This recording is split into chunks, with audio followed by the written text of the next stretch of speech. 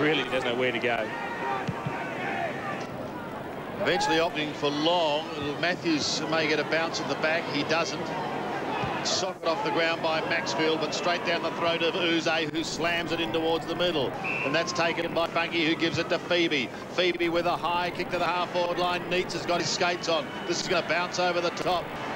Dunkley went over the top with one hand. Neitz chips to Funcke. Funcke can go for goal. 46 metres from home. It's high and it's there. And it's another one to the demon.